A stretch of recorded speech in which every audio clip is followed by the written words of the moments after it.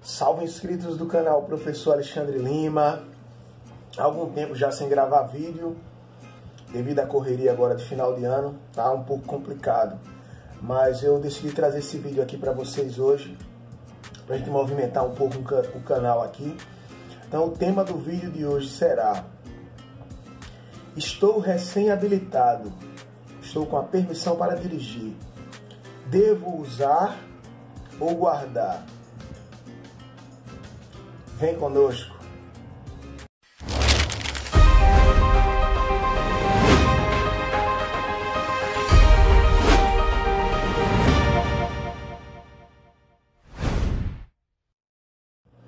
Pois bem, é comum encontrarmos pessoas, né?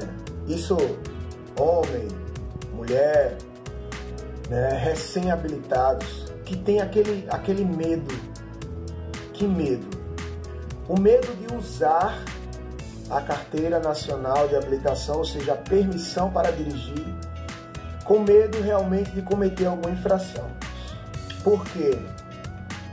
Sabemos que a habilitação provisória, né, como já se diz aí o dito popular, que é a permissão para dirigir, ela tem uma validade de um ano e você não poderá cometer nenhum ato infracional no trânsito. Ou seja, precisamente nenhuma infração grave, gravíssima ou duas infrações de natureza média. Pois bem, será viável guardar essa habilitação por 12 meses? Eu vou estar colocando aqui para vocês uh, o, meu, uh, uh, o meu posicionamento. Cada um segue o seu. Eu vou estar colocando o meu posicionamento, beleza? É notório perceber que a facilidade de perder a habilitação permissionada ela é muito grande. Então, se você é aquela pessoa que não tem muita atenção no trânsito, é, a região que você mora, a fiscalização é intensiva, o veículo que você está utilizando está no seu nome, moto, carro, etc o risco ele é enorme. Agora, se você manter essa CNH guardada por 12 meses, não irá transformá-la ela em uma CNH de gaveta, porque aquela de gaveta será aquela que vai guardar e jamais vai usar, ficará com aquele medo, certo?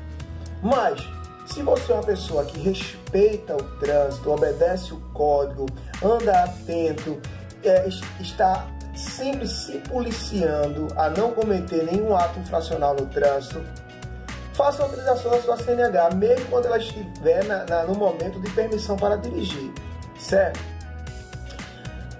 A permissão para dirigir é válida em todo o território nacional. Ah, eu vou viajar, eu estou habilitado agora pra, com a permissão para dirigir, eu quero viajar, final de ano chegando, olha, Natal, Ano Novo etc. Eu posso viajar? Ah, você não pode porque você está com a permissão. Você pode viajar, mas com o devido cuidado.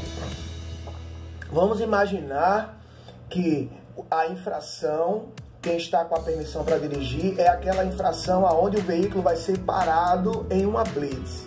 Automaticamente, veículo retido configura é, é, é, o ato constatado da irregularidade sobre uma infração de trânsito, o agente, no momento da abordagem, vai pegar um prontuário.